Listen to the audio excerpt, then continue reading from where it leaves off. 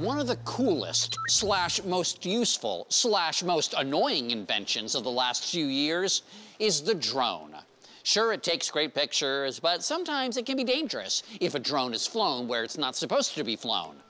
Well, now there's one innovative device that can bring bad drones down to earth. Here's Adam Yamaguchi. As more people get easy access to unmanned aerial vehicles, commonly called drones, there are serious concerns about flying them into private or restricted airspace, such as over the White House, which is a bad idea.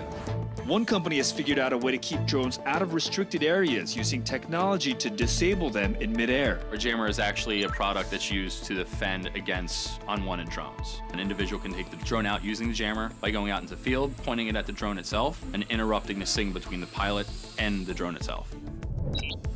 I made my way to Warrenton, Virginia to meet the development team at Drone Shield, a two-part system that starts with listening for drones. The first step is detection. Yeah. How does that work? We look for very specific characteristics to, you know, sounds that the drone makes that don't sound like other things in that environment. We'll split the sound up into different frequencies and we'll look for telltale signatures of the drone. The system operates unattended, so it'll be totally automatic.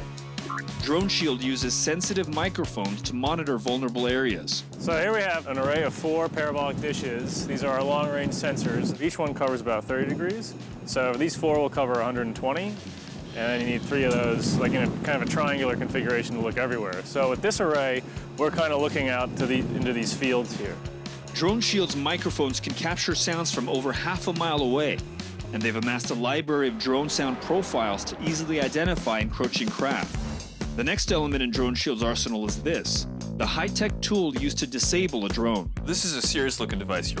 What is this? So this is our jammer. Here we have antennas. So just directional antennas mounted on an M4 rail. Huh. So looks dangerous, but there's no actual projectile coming from the from the end of it.